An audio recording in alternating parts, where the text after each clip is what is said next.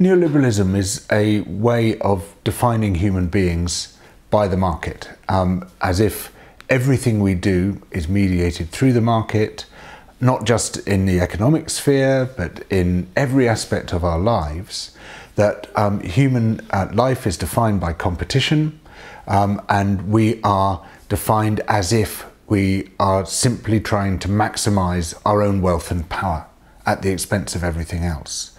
That's the description of humanity at the heart of neoliberalism, which then seeks to extend that idea um, by attacking trade unions, which stand in the way of what they consider to be the free functioning of, of the market, by ripping down regulations, by ripping down taxes, particularly for rich people, by tearing up anything which stands in the way of this magical thing called the market, which actually turns out to be not that abstract entity they like to talk about as if it were some force of nature, but an entity which is controlled by people, often very rich people, very powerful people.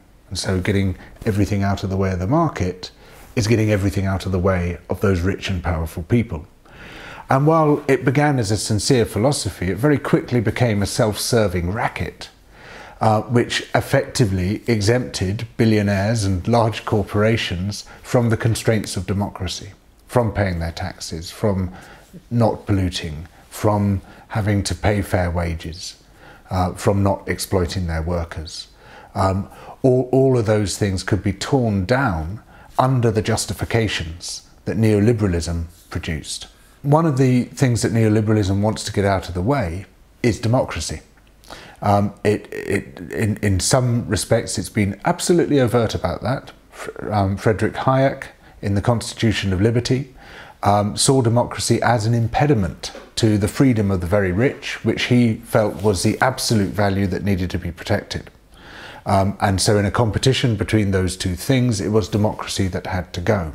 When he visited um, Chile under Pinochet, um, he said he would rather live in an economically liberal dictatorship than in a democracy without economic liberalism. Um, and, and so they, they, were pretty clear about this agenda.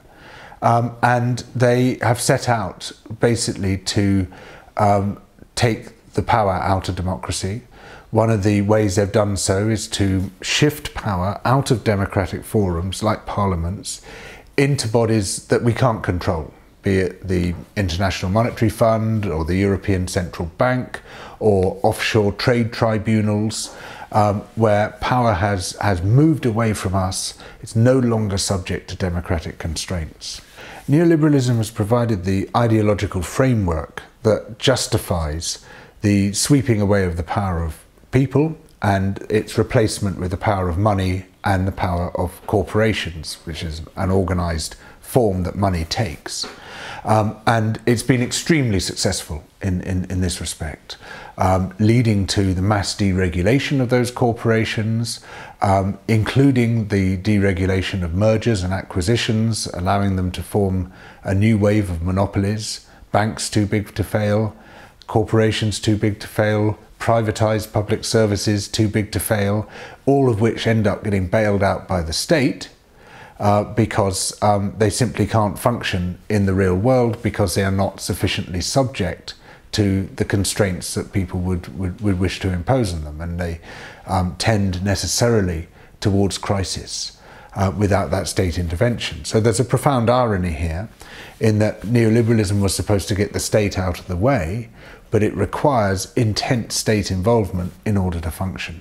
Globalization is something which was promoted quite deliberately in some respects by neoliberal thinkers. Um, one, one respect in which they did it was to pull down capital controls. The other was to destroy the fixed exchange rate system. Um, the other, of course, has been the mass outsourcing of, of business, the creation of transnational corporations on a very large scale um, with unaccountable subsidiaries um, that um, can't be held to account for what other parts of the corporate network do. All of that has made it very difficult for governments and people to get a grip on corporate power and to restrain it, which of course is part of the point. Now, I believe there's some quite positive aspects of globalization. The main problem with it is that the tremendous power that goes with it is not subject to democratic constraint. There is no global democracy. There is there is no democratic globalization, um, and and without that democratic constraint, it becomes the place, the non-place, where power resides, having fled from democratic national forums. This process leads us um, weak, atomized, um, incapable of Uh, engaging with the scale of the problems that, that, that afflict us. The state says it's going to get out of our lives and get out of the way, but the state is the only actor which is big enough to constrain the power of billionaires and corporations. We can't do it by ourselves. And so, what the state is effectively doing is siding with them in allowing them to escape from the constraints of democracy. And what that means is that we then become incapable of addressing our own problems because they are so much bigger than we are, and we've got no um, agent through which we can act to, um, to, to constrain those powers. And, um, and, and so we have this weird phenomenon of the self hating state, of the state which says our role is to destroy ourselves, our, our role is to get out of the way, on behalf of our political funders and the newspaper magnates and the other promoters of neoliberalism who benefit so much from it. One of the crucial aspects of neoliberalism is to tear down the regulations that protect the living world from exploitation. Because those regulations make it harder for people like the Koch brothers or ExxonMobil or other destructive corporations to make loads of money by extracting resources and by dumping their pollution. When they have to pay for the pollution they cause and pay to stop um, creating that pollution, when they have to pay fair prices for the resources they extract, um, when they have to um, uh, respect local communities who might be destroyed by open cast mining or oil spills, then their profits disappear. So, a great deal of the thrust of this has been to get those regulations off their backs, those regulations that for us are protections, it's what defends us against exploitation and destruction, and to be able to do whatever the hell they want to the living world and to other people to dump their costs on the rest of us. And so while the environmental crisis predated neoliberalism, it has been greatly accelerated by neoliberalism, by, by, by, by this escape from the constraints of democracy. There's an issue which almost nobody writes about or talks about, and yet it's perhaps more fundamental than any other issue at all, which is soil. Soil is the basis of human civilization. Soil is the basis of human existence. We do not exist without soil. Everything we eat, everything which contributes to our body mass comes from soil. According to the UN Food and Agriculture Organization, we have 60 years of harvests left at current rates of soil loss and degradation. Um, and yeah, this is a marginal issue. It doesn't feature in politics, doesn't feature in debate, it's not on the news. No one's talking about this, yet it is the most fundamental issue of all. It's an illustration of the fact that what's salient is not what's important, and what's important is not what is salient. The, the, the news media have a profound bias in all sorts of ways, but the biggest bias of all is the bias against relevance.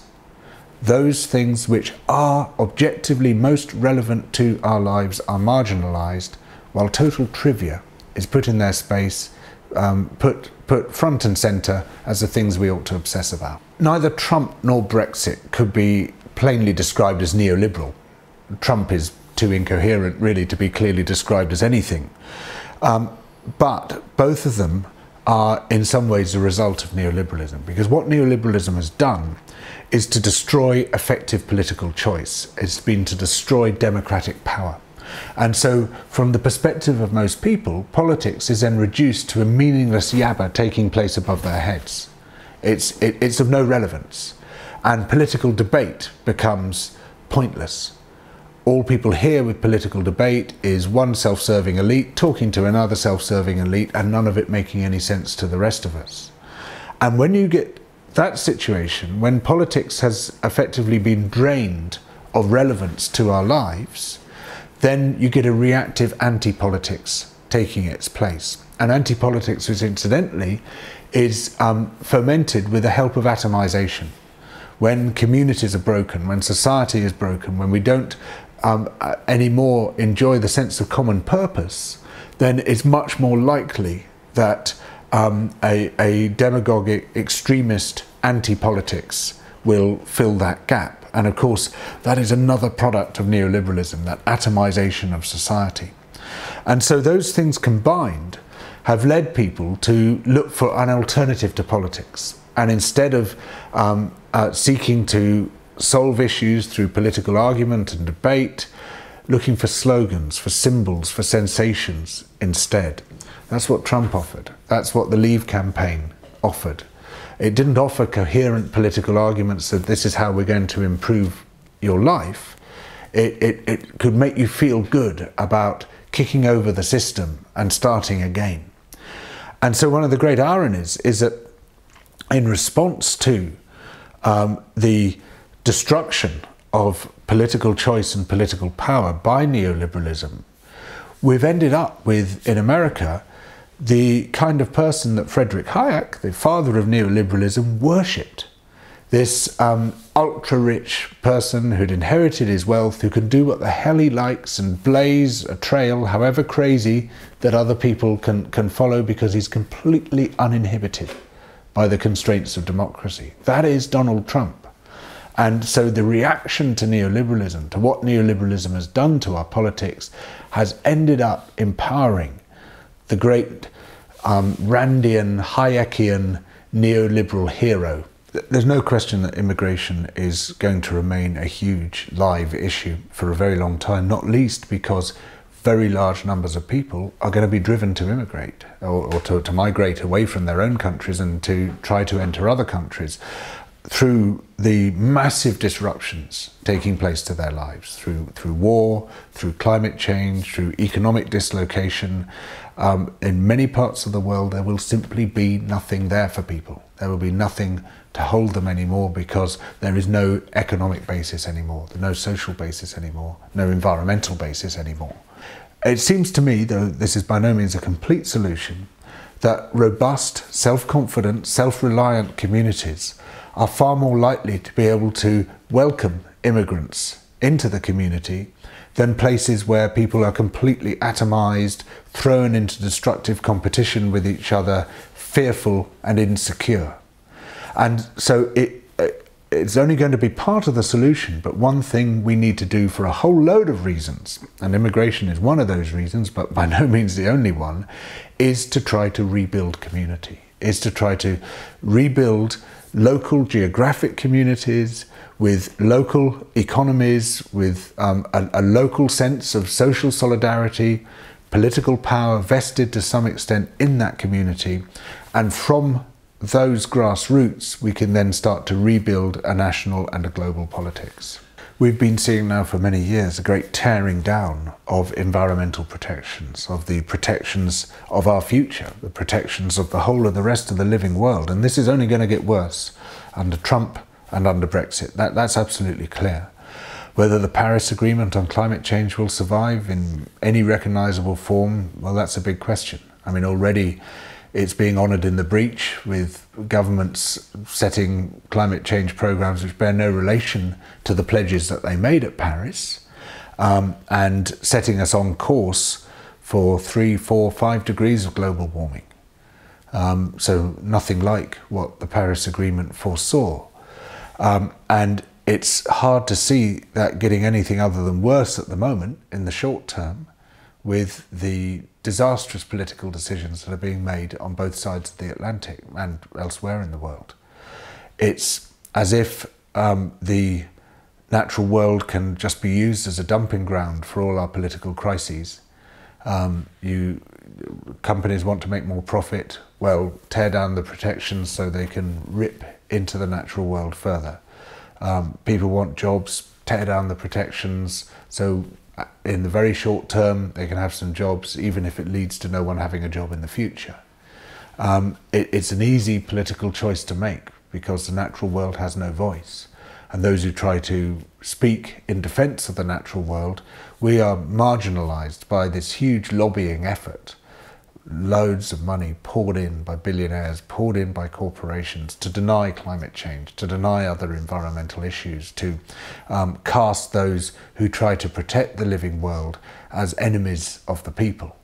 And it's been extremely successful with these great echo chambers that have been created online to just promote and promote this idea that there isn't an environmental problem and anyone who says there is is a communist trying to take your money away. I can't write about an issue without looking for a solution to that issue. And having documented so many of the problems in um, this book, the book I'm working on now is called Out of the Wreckage, and it's looking for ways in which we can start to climb out of this multi headed mess that we've got ourselves into. And it seems to me that what's fundamental to that is we need a new political story it's amazing how we have completely failed, within mainstream politics at any rate, to develop one. Mainstream politics, on the left and centre, the last political story was John Maynard Keynes's general theory, published 80 years ago. Outside of mainstream politics, there's thousands of news stories, which is part of the problem. There's a cacophony. No one can hear any of them because everyone's shouting, saying, I've got the answer, I've got the answer, and so it all just becomes unintelligible. What I'm trying to do is to pull out the best of those solutions which have been devised by other people, sifting through hundreds and hundreds, some of which are total rubbish, some of which are pretty good, some of which are brilliant. Finding the best ones and trying to weave those into a coherent new political narrative. It's not going to be something I do by myself, this is going to be a collective effort. But what, what I'm trying to do with that book is to promote that process and get us a little bit further along the road of writing that new story.